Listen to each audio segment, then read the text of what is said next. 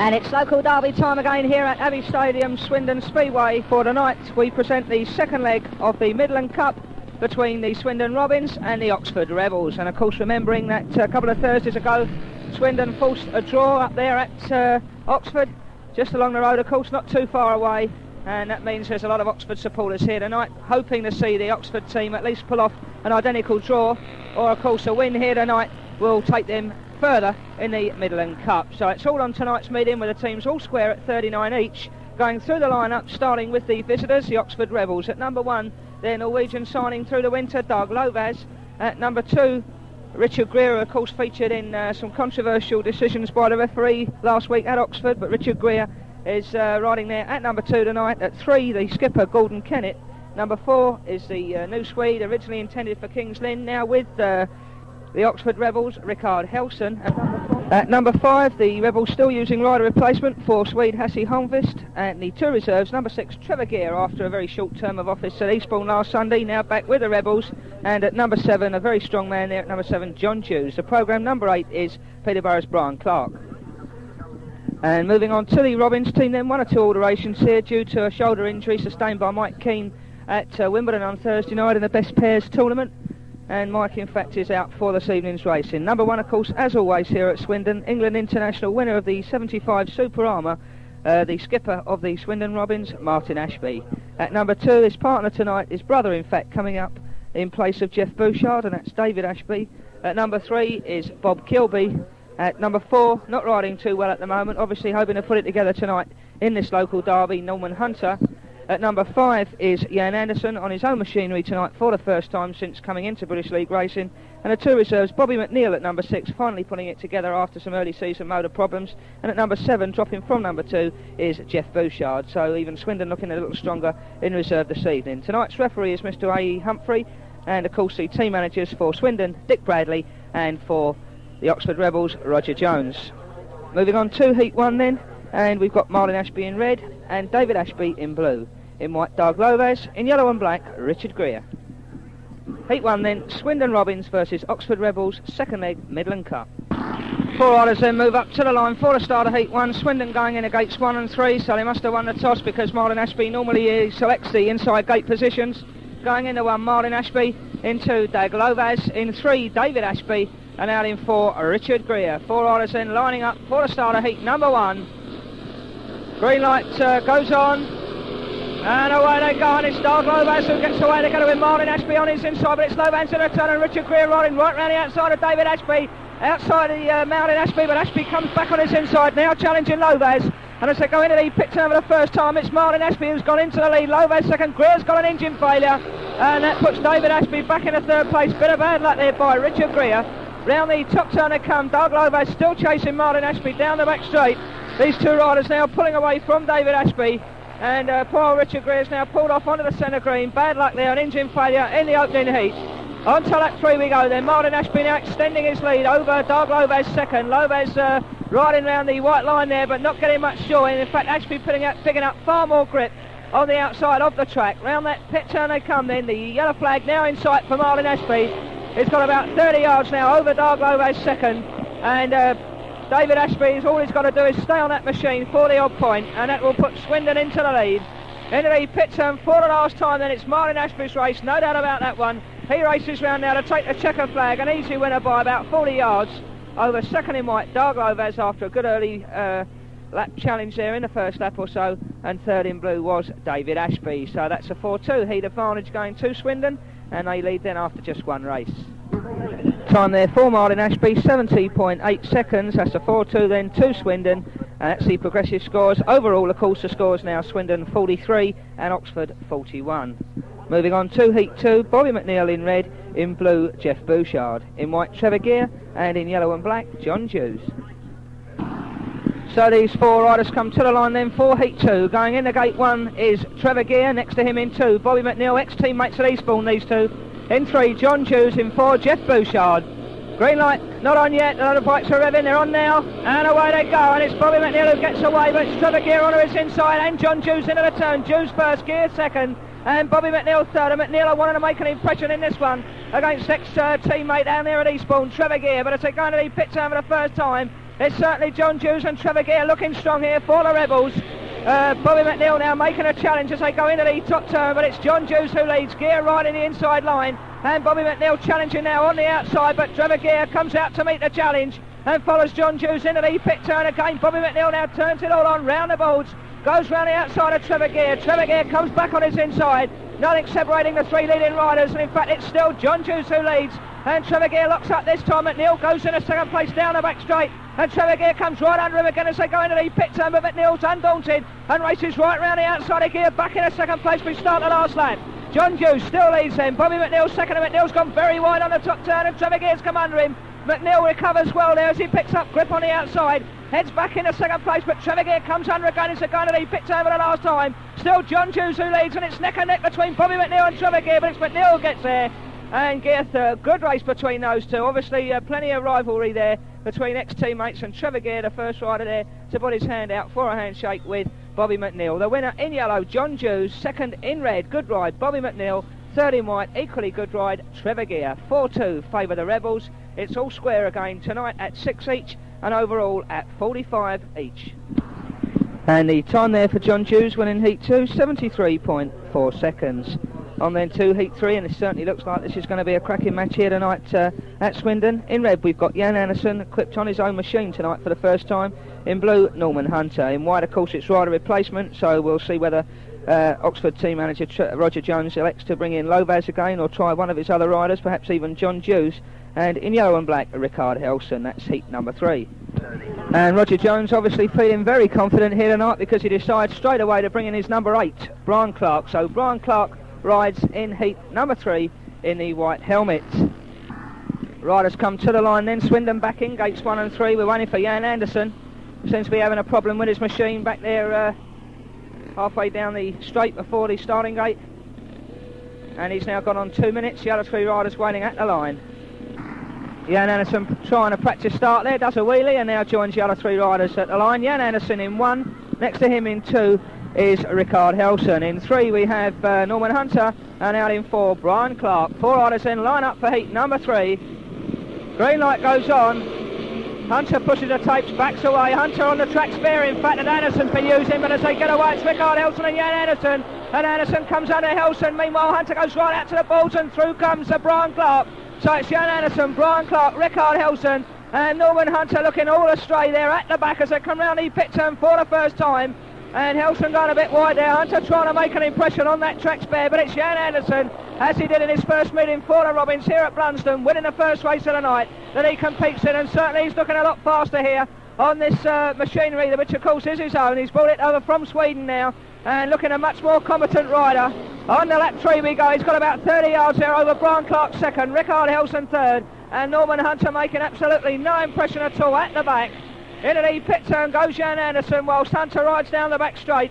And the rider's now spreading out a little bit. It looks like an all-squared race and certainly Clark proving his value there.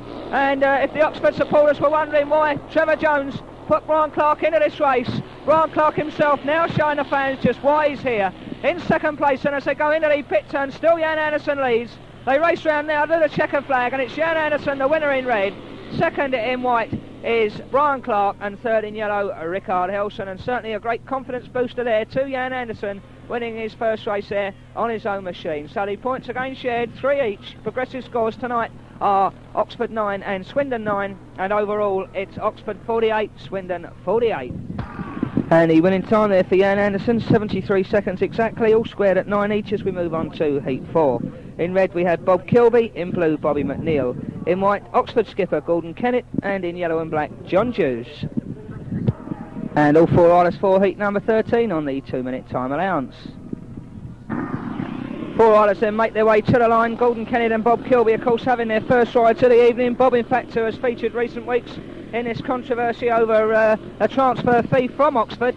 And that obviously has added to the needle here tonight. But the four riders lining up with Gordon Kennett in one, Bob Kilby in two, John Dews in three, and Bobby McNeil out in gate four. The green light then not on yet, another rider's revving. Green light goes on late, but it's on now, and away they go, and it's Bob Kilby who gets away with Gordon Kennett on his inside, John Dews on the outside, and Dews riding right round the outside of Kilby there. Kilby comes back to meet him, but Dews matches him down the back straight, And in fact, with Kilby on the inside and Dews on the outside, then nobody prepared to give an inch. And again, Dews rides around the outside as they come out of the pit turn. It's John Dews in the lead. Good bit of riding by the uh, Oxford number seven. Kilby second, and he locks up there, and almost under him is Gordon Kennett. And there's certainly plenty of needle out there tonight. At the back, Bobby McNeil. Into the pit turn they go, and oh, God, Bob Kilby, they're getting into all sorts of trouble on the pit turn. Kennett unable to make the impression as we start lap number three. Still in the lead then, John Dews. Again, Kennett attempting to come under Bob Kilby, but Dews has gone out to the boards. And Bob Kilby closes the gap on him there as they go down the back straight into the pit turn. And Kilby now staying on the outside. Kennett trying to come under him. But Dews comes out wide and it's Kilby now challenging for the lead again as we go on to the last lap. Still John Dews who leads and again he goes out wide on a top turn. He may have let it go too long this time. And Kilby comes powering under him but it is who leads into the pit turn for the last time. And certainly Gordon Kennett now closing the gap on Kilby as well as they race round on a checker flag. But it's John Dews who wins in yellow. Second in red, Bob Kilby. And third in white, fighting all the way there, was Gordon Kennett. So a 4-2 heat advantage again going to the Rebels. They go into the lead. And the scores now, Swindon 11, Oxford 13, and overall Swindon 50 and Oxford 52. And what a terrific match these riders are putting on tonight for a very large crowd here supporting equally, I think, both the Swindon Robins and the Oxford Rebels. So the time there for John Dews, a good ride from him, winning uh, heat number five, four in 72.6 seconds. That's two wins in two rides. We move on to heat five. Jan Anderson, Norman Hunter for Swindon, Doug Lovaas and Richard Greer for Oxford. And it's Swindon in gates one and three, Jan Anderson in one. Next to him in two, Doug Lovaas. In three, Norman Hunter. And out in four is Richard Greer. Greer hoping that he's put his machine problems to rights. The four riders then line up. Green light goes on, and away they go, and it's Jan Anderson who gets away from one, together with a rider in blue, Norman Hunter, but racing round the outside, here's Richard Greer, and he goes round Hunter, but Hunter comes back on his inside as he goes down the back straight, and Greer not giving anything away there, but Jan Anderson trying to get into it as well. Meanwhile, Greer races round the outside of Hunter, and a brilliant bit of riding there by Dickie Greer gets him into the lead, but Hunter comes back under him as they go into the top turn. Greer leans back again on the inside there, goes back round the outside of Norman Hunter, and Jan Anderson just about holding out Doug Lovaas. Lovaas surprisingly at the back. But what a race this one as they come round the pit turn. Two races going on. Jan Anderson locked up. And Doug Lovaas goes into third place. They go into the top turn again. Nothing between all four riders, but it's an Oxford advantage at the moment because Greer is leading. Hunter second and Doug Lovaas third as they go into the pit turn. Hunter trying to get back into this one now, but he looks beaten there in second place. And if anything, as we start the last lap, it's Richard Greer who closing the gap on him. Into the top turn they go for the last time. Greer riding round the outside, flicks back to the inside as Hunter goes wide. But they go down the back straight, into the pit turn again, still in the lead there, Richard Greer. After his first race disappointment, he's coming round now to take the checker flag, the winner of Heat 5. Second in blue, Norman Hunter, by a tile there over Doug Lovaas, finishing very, very fast uh, and doing a wheelie at the same time. But it's another 4-2 there to the Rebels. And they increase their lead tonight. The score Swindon 13, Oxford 17, and overall Swindon 52, Oxford 56.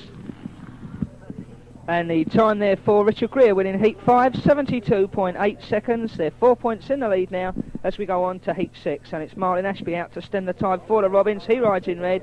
In blue, David Ashby. In white, Gordon Kennett. And in yellow and black, Trevor Geer. Heat number 6. And as we go into Heat 6, the Rebels with advantage of the gate positions are in 1 and 3. From the inside, in number 1 is Gordon Kennett. Next to him in 2, Martin Ashby. In 3, Trevor Geer, and out in four, David Ashby. Four just getting themselves organised on the line. A little bit of turn and throw in there by uh, Trevor Geer and David Ashby. Both Kennett and Martin Ashby standing on the line waiting. Four riders there now. Green light goes on, and away they go. Four riders get away to get it. It's Martin Ashby who shows ahead of uh, Gordon Kennett. And Trevor Geer riding right round the balls there in third place at the back. David Ashby as they go down the back straight. Certainly Martin Ashby's going to take some beating tonight, but he needs some support from his team. And as they come round the pit turn now, Martin Ashby pulling away his lead, showing to everybody here that he's still king of Blunsdon. Gordon Kennett racing on the inside there of Trevor Geer, gets himself back in the second place there as they go down the back straight. Trevor Geer will be quite content, I think, with a pace second. And he's just got to hold out David Ashby as they come round the pit turn. Ashby not really near enough to come into contention in this race. So On the lap three we go. The four riders uh, still fairly close together. Though Trevor Geer riding right out to the boards on that top turn. And David Ashby's now closed the gap on him. This is the, where eyes are focused now because this is where the race is taken up. Martin Ashby still leads. Gordon Kennett second. But Trevor Geer's third place now in jeopardy as we start the last lap. And Geer trying to hug the line here, comes out a bit wide. David Ashby's riding around the white line. But Trevor Geer seems to have the speed down the back straight. In the pit turn for the last time. And coming out again there, Martin Ashby races across the checker flag, the winner in red. Second in white, Gordon Kennett. And third in yellow, Trevor Geer. Points shared, three to Swindon and three to Oxford. That's 16 to Swindon, 20 to Oxford overall. It's 55 to 59. Martin Ashby still definitely the fastest rider here tonight, 71.4 seconds his attempt at heat number 6. Heat 7, Bob Kilby in red, Bobby McNeil in blue, in white, rider replacement in yellow and black, Rickard Helson. Be interesting to see what Roger Jones decides to do in this one. He's already used his number 8, Brian Clark, and Brian in fact responded with a very fine second place. So we'll have to see uh, just what Trevor uh, Roger has got in mind for this next one, heat number 7. And obviously Roger Jones wanting to press home his advantage because he takes no chances whatsoever in Heat 7 and brings in his number one, Doug Lovaas, to ride in white. So the full lineup, Bob Kilby, Bobby McNeil, Doug Lovaas, Ricard Helson. Four riders make their way to the line then. We're waiting for uh, Bobby McNeil and he seems to be having some motor problems. Bobby won't be wanting those of course having had a couple of weeks where he had some diabolical luck and had to retire from the meeting on both occasions. He's now gone on the two minute klaxon that's the rider in blue, Bobby McNeil. And Bobby McNeil now with less than, uh, well, 30 seconds there, and his machine's still not firing, and it's Norman Hunter who brings out the machine to the aid there of Bobby McNeil. That is, of course, the Swindon track spare, I think. And would you believe Norman Hunter's having trouble getting the track spare going? And the blue exclusion light's gone on. Bobby McNeil's been excluded. In fact, that machine, the track spare's still not firing yet. And the exclusion light comes on for Bobby McNeil. The other three riders, in fact, lining up. I don't know whether they think that's the uh, start light, but it is, and it's the blue exclusion light, and the tapes have gone up. Uh, Doug Lovaas has started, but of course it's a bit of a shambles there, in fact, but it's a blue exclusion light on for Bobby McNeil, who's been excluded. That means that Geoff Bouchard comes in and takes his place, and we get a restart of heat number seven. So the two-minute klaxon goes again, this time for all four riders. And with Geoff Bouchard now taking the place of Bobby McNeil, the four riders coming to the line. Jeff Bouchard in the gate one, in two, Rickard Helson, in three, Bob Kilby, and out in four, Doug Lovaas. Four riders then lining up finally for the start of heat number seven. Blue Sea, blue exclusion lights still on, but the green lights now on the way they go. And getting away there on the inside is the rider in yellow, Rickard Helson, and with him Doug Lovaas, and Lovaas goes into the lead. Helson under him, and Kilby now racing down the outside of Helson, but Helson holds him on the straight. Into the pit turn they go. Helson on the inside, Kilby on the outside, and Kilby manages to lean back there, gets himself in a second place. They complete lap one. Into the top turn now, Bob Kilby taking up the chase there of Lovaas, but as I say that, under him comes Rickard Helson again, and Helson is definitely not finished in this one. Into the pit turn they go. Lovaas leads, Kilby hanging on grimly there to second place, and uh, Helson locking right up coming out of the pit turn. That certainly helped Kilby's cause. And in fact, Bouchard now uh, coming down very hard there on Helson as they go into that top turn, come out again. Down the back straight, it's a 4-2 advantage to the Rebels. Into the pit turn they go, still in the lead there, Doug Lovaas. Heading for his first win of the night by the look of it. In second place, Bob Kilby. That's how it is. We go on to the last lap. Bouchard now making his challenge of Rickard Helson as they go into the top turn. Helson again locks up. Bouchard goes to his outside. But in the race down the back straight now, it's still Lovaas who leads. Kilby second, Helson third. And Bouchard not making the impression expected. As they race round to the checker flag, it's a win for Doug Lovaas in white. Second in red, Bob Kilby. And third in yellow is Rickard Helson. Yet another 4-2 there going to the Oxford side. The scores now Swindon 18, Oxford 24, so it's tactical sub-time for the Robins. And overall the scores are Swindon 57, Oxford 63. The time there for uh, Doug Lovaas winning Heat 7, 72.4 seconds. Moving on to Heat 8, David Ashby rides in red, Geoff Bouchard has two on the trolleys in blue, in white Richard Greer, and in yellow and black Maximum Man for the Oxford side, John Dews. And Dick Bradley decides to put all his eggs in one basket for Heater, number eight, and he comes out with a tactical change in both red and blue. So out comes uh, David Ashby, out comes uh, Geoff Bouchard, and in their place Martin Ashby rides in red and Jan Anderson in blue. On top of that, Swindon electing to go in the gates one and three. Of course, they can choose their gate positions as well, being six points down. And Martin Ashby goes into one, next to him in two, John Dews. In three, Jan Anderson, and in four, Richard Greer. And away they go, and getting away there on the inside, it's John Dews. Martin Ashby matches him. Greer around the outside, but Jan Anderson comes under him, and under John Dews as well. Brilliant bit of riding by Anderson. He's overhauled though by John Dews again. And now Anderson coming back under Dews. They go into the pit turn. It's left to him to fend for himself. Martin Ashby, meanwhile, coming round to complete lap with about 20 yards over John Dews second. And Jan Anderson in third place. Richard Greer not making the impression at the moment at the back. Down the back straight they go. So it's a 4-2 to the Robins at the moment. But Jan Anderson with it all to do now to try and beat John Dews. They come out of the pit turn, he slows right up there. And in fact, Richard Greer's not finished at the back either. Greer, of course, who won his last race. And he's going to try and get back amongst the points in this one as they come out of the top turn. He comes hounding down on Jan Anderson.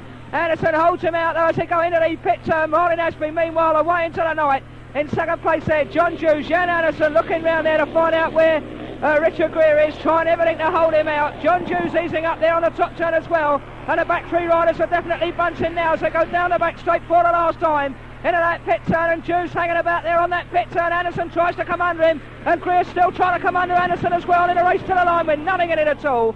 It's a win in red for Martin Ashby, second in yellow John Dews and third in blue Jan Anderson. So at least Swindon Robins there getting a 4-2 heat advantage. Their first in fact since uh, heat 1 and that makes the scores now Swindon 22, Oxford 26 and overall Swindon 61, Oxford 65. Martin Ashby's winning time 71.4 seconds and John Dews has his first defeat of the night. Certainly no disgrace there from John though conceding to uh, Martin Ashby here at Swindon. Moving on to Heat 9, Jan Anderson with two on the trot, he rides in red. In blue, Norman Hunter. In white, Gordon Kennett. And in yellow and black, Trevor Geer, Heat number 9. On then with heat number nine, just four points in it now with Swindon getting their second heat win of the night back there in heat eight. From the inside, in one, Jan Anderson. Next to him in two, Gordon Kennett. In three on the track spare again there I see Norman Hunter. And out in four, Trevor Geer. Swindon of course looking for a 5-1 to square it up. Four riders line up. Green light goes on, and away they go, and it's Norman Hunter and Jan Anderson who get away. And it's Hunter on the outside, Anderson on the inside, but as I say that, Geer riding right round the outside of his teammate Gordon Kennett. And he gets into third place down the back straight, and it's Anderson's place that's looking in jeopardy. Hunter leads, they go into the pit turn, but Trevor Geer riding round the outside of Anderson. Anderson stays on the inside, holds him out with sheer speed down the straight. And as they go into the top turn now, all four riders pretty well bunched together there, but Anderson still holding out second place. Down the back straight they go. Hunter leads, Anderson second, and Trevor Geer doing what he can there for the Rebels in third place. Gordon Kennett trying to get back amongst it, but Gordon Kennett lying at the back at the moment. Now comes under his teammate Trevor Geer as they go into the top turn. Geer goes wide to give him plenty of room to make an impression if he can. Into the pit turn they go then. Norman Hunter still leads, Jan Anderson second. And now Gordon Kennett who's taken up the challenge of uh, getting under that second place. On to the last lap we do, and everybody asking, can the Robins do it? But Gordon Kennett's really turning it on, trying to get on the inside of Jan Anderson, but down the back straight, Jan Anderson takes a quick look and makes sure he knows just where he is. Into the pit turn for the last time, Gordon Kennett turning there, right on there, and Anderson's locked up, and Kennett's got into second place, and Anderson losing it there on the uh, run-in. We're really locking up, coming out of the pit turn for the last time, and obviously Gordon Kennett doesn't need two opportunities like that and uh, he goes straight round the outside of Jan Anderson in the second place. So for three and three quarter laps there, it looked like Swindon were going to get on par, and that would have left it at 27 each. But Gordon Kennett gets in there for the Rebels and leaves them two points in the lead. So it's a 4-2 then to the Rebels, uh, to Swindon. And the progressive scores now, Swindon 26, Oxford 28, just two points in it. Overall the scores 65 to 67. Time there for Norman Hunter, winning Heat 9, 73 seconds, just two points in it as we go on to Heat 10. In red, Martin Ashby, in blue, David Ashby. In white, it's Rider Replacement, and in yellow and black, Rickard Helson. And it does look, in fact, as if Bobby McNeil was coming out to take the place of David Ashby in this uh, Heat number 10. Certainly, there seems to be him down there at the entrance to the pit. So, could be a change, could be uh, Bobby McNeil in blue for Heat 10. Four riders come to the line then. It is confirmed that Bobby McNeil rides in blue and for rider replacement it's in form number seven John Dews who rides in white. So from the inside with uh, the Rebels in gates one and three we've got Rickard Helson in one, Martin Ashby in two, in three John Dews and out in four Bobby McNeil. So poor old John Dews got Martin Ashby twice in two races Green light goes on. Four riders lined up there now. And away they go. It's John Dews who gets ahead of Martin Ashby. But Ashby quickly under him as they go into the pit turn. Bobby McNeil third. And Rickard Helson trying desperately to come under McNeil there. But down the back straight, it's Advantage Robins. Into the lead, pit turn they go. Still in the lead there is Martin Ashby. Followed by John Dews second. And Bobby McNeil desperately uh, trying to get into contention here. Nicely poised in third place. And trying to catch John Dews. Dews going very wide on the top turn. Martin Ashby, meanwhile, pulling away to what's going to be his fourth win of the night if he gets this one. And certainly it's going to take a good rider on either side to beat Martin Ashby in tonight's form. On to lap three we go. Ashby leads, Dews second, and Bobby McNeil third. All four riders fairly well spaced out here, so I think it's a safe bet that it looks like a 4-2 to the Robins, and that'll square it up this time. Into the pit turn they go, a real ding-dong match here tonight. Martin Ashby still leading, Dews second, and Bobby McNeil third, taking a quick look behind him, and his third place looks pretty safe with Rickard Helson dropping wide away at the back. Down the back straight they go for the last time then. Probably the most spread out race we've seen tonight in this exciting encounter. Round the pit turn for the last time comes Martin Ashby, checker flag in sight, he wins in red. Second in white, John Dews, and third in blue, Bobby McNeil. So 4-2 favour the Robins. That makes it 30 each on the night, and uh, let me see, 69 each overall. So we're really set now fair for three uh, scintillating heats of racing. Heats 11, 12 and 13 with both teams all square after 10 races. Martin Ashby's winning time of heat number 10, 72 seconds. So uh, 10 races then, 30 points each on the night, 69 each overall. And we move on to heat number 11.